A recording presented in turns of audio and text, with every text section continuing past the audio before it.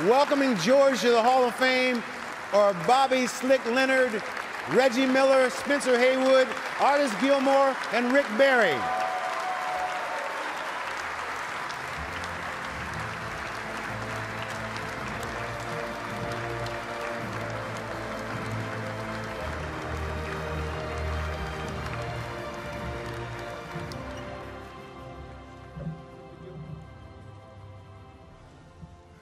Thank you so much. Coach, that was way to bring a crowd, man. That was unbelievable. Great job. First of all, I want to say good evening and I want to thank God for every blessing He's given me, especially the one this evening. I would like to thank the Hall of Fame and the, and the Veterans Committee for this honor. I'd also like to congratulate the 2017 inductees. I'm honored to be a member of their team. My story begins with my mother and father, Bernie and Willie McGinnis. They migrated to Indiana from Hoppersville, Alabama, looking for a better opportunity for their family. That turned out to be one of the best things that ever happened to me because it's hard growing up in Indiana and not falling in love with the game of basketball. The year was 1956. I was six years old. Two events would change my life forever. We had our first television set and I got to watch the nation's first all black team compete for Indiana High School State Championship. That night, I was introduced to a young man who became not only my hero, but for every kid in our community's hero. His name was Oscar Palmer Robertson, the Big O. He played for Crispus Attucks High School, and uh, he won the state championship for the second time in 1956. The 1956 team was the first team to go undefeated and win a championship since that tournament began in 1911. And I can't tell you the pride we felt in our community. The next day was a Sunday. Yeah, that's right. Yeah. The next day was a Sunday, and it seems as though every boy in our neighborhood was out shooting buckets. We all wanted to be like the Big O. Oscar couldn't be here tonight, but he inspired me as well as many others in our state to play this game, and I want to thank him for that. 13 years later, in 1969, I was part of the second team in Indiana high school history to go undefeated and win a state championship, George Washington High School. Three guys on my high school team played professional ball. Steve Downing, who went on to IU and became an All American and was the first draft pick of the Boston Celtics. Wayne Pack, who's here tonight, played for the Pacers and in Italy, uh, were part of our starting lineup along with a kid named Jim Arnold and Louis Day. I was very fortunate to be named Mr. Basketball that year in 1969. And we had we, we fielded an all-star team of our best seniors from Indiana against a team from Kentucky. It's a game that's been going on for a lot of years. We played two games, one in Indiana and one in Kentucky. The first game, I had 23 points and 14 rebounds. I didn't think that was too bad, but one of the Kentucky players was not very impressed with the game I had or, or me.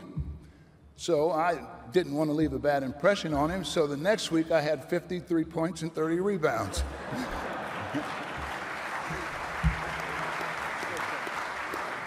I rode back to uh, Indianapolis with my parents, and my dad, man, he was, uh, he came looking for a better life. He was such a hard-working guy. He didn't get to see a lot of my games. He, he worked construction during the day and a factory during the night. But that night, he told me how proud he was of me. One of the few times he ever told me that. And uh, that was one of the best feelings I ever had. But tragically, nine days later, he was killed in a construction accident. That All Star game was the last game he saw me play. So maybe it was God's will that I had the game that I did. I'm so glad uh, that I did have that game. I was honored to attend the great University of Indiana and to play for Coach Lou Watson. May he rest in peace. I became the first sophomore in Big Ten history to lead the league in scoring and rebounding. I enjoyed my time there but our family was struggling financially. My mother and I had a chance to sign with the Indiana Pacers. I did. I took all of my $15,000 signing bonus and put it down on a down payment on my mother's house that she still lives in to this day. Yeah.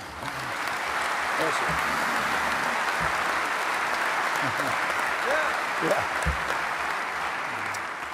And so that leads me to you, Spencer Haywood. You were a big reason why I was able to do that. As a junior in high school, we watched you lead that 1968 Olympic team, and it was incredible. We had never seen anything like you, my man. And uh, with you, and after your sophomore year of, of college, after that, after that uh, uh, incredible uh, performance at the Olympics, you spent your sophomore year at college, and then you joined the Denver Rockets in the OABA. Two years later, I followed your path, and I signed with the Indiana Pacers after my sophomore year. You opened the door not only for me, but for many others, and I can't tell you how much I appreciate your trailblazing ways. You're a good man. Thank you. Yes. And what, what can I say about this next guy? He's like, been like a father to me ever since I lost my father, Coach Bobby Slick Leonard. We just call him Slick. I couldn't have picked a better team to have gone to than the Pacers to start off my professional career. There were three future Hall of Famers waiting on me, and Mel Daniels and Roger Brown, and may they rest in peace, and you, Slick. And other great players, Freddie Lewis, Bob Netolicky, Billy Knight, Darnell, Dr. Dunk Hillman, and Billy, and uh, and and uh, that was it, I guess. Well, Slick, you've been you've been like a father figure to me, and I can't tell you how much I appreciate, man, everything you've done for me. You have uh, you have uh, been uh, my best friend. I can come and talk to you when I, during good times and bad times. You've always given me good information. I love you for that. Thank you.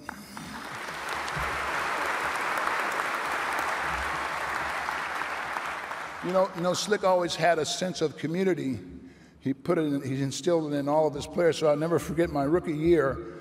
Uh, the first meeting we had, he, he, he called the meeting and he said, "Look, I don't care how good any of you think you are, and how many, how good you might be." He said, "But you're nothing until you do something for somebody else." I've never forgotten that. And like my real father, Slick, you taught all of us to be tough, but you also taught us to be compassionate and I appreciate you doing that. Thank you.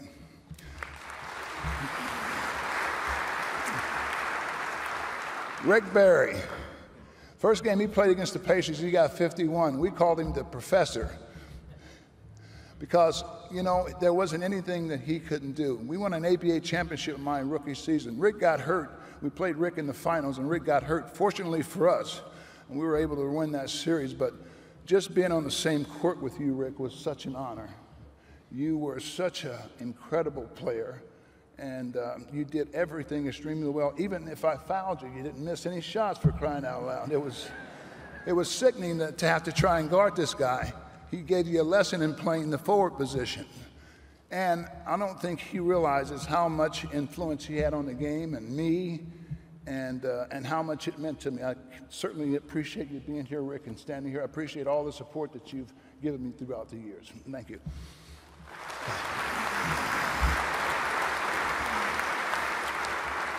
The big A, Artis Gilmore. We won an ABA championship. Yeah, yeah. We won an ABA championship in my second year, the next year, and then we played uh, the Kentucky Colonels in the, in the finals of that uh, championship series. And I was fortunate to be uh, named MVP but Artis was as dominant a player as we had in our league, and probably as nice a guy as we've had in our league. So two years later, we met him again in the finals, but this time the Colonels won, and we were beaten, and Artis was voted MVP. I'm so proud, uh, Artis, to be able to share with you this honor, and I'll be ever thankful that I didn't have to guard you. yeah.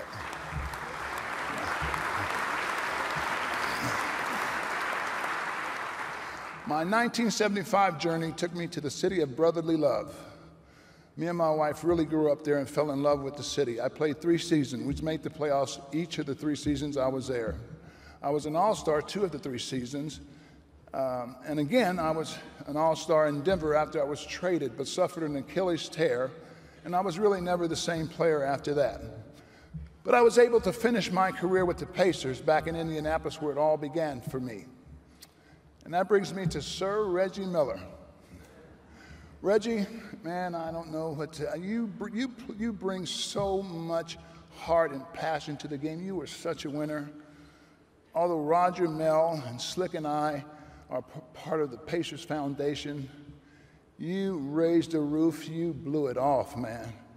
You've done more for the Pacer organization than any player that's ever played or wore that uniform. And I can't tell you how honored I am to have you standing with me tonight. You're absolutely the best.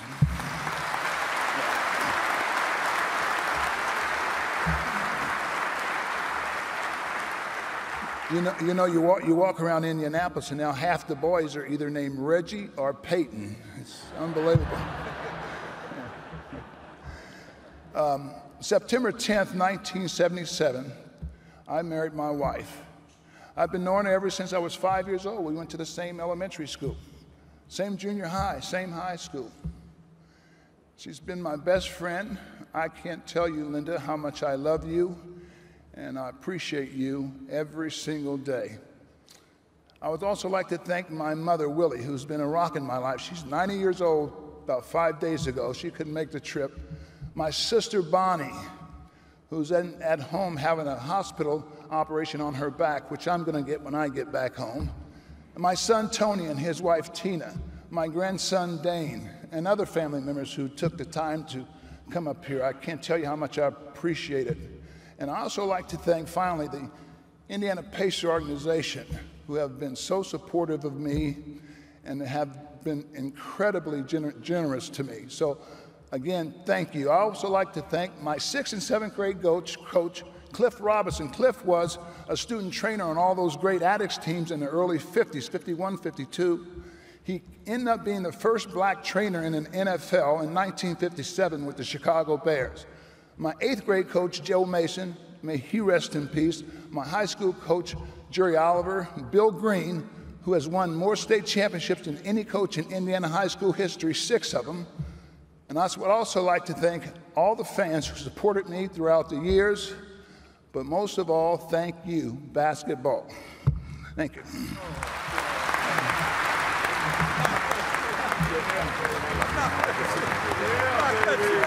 Bad man, boy. You're a bad man. That's how you knock it out the park. That's how you knock it out the park. That's how you knock it out the park.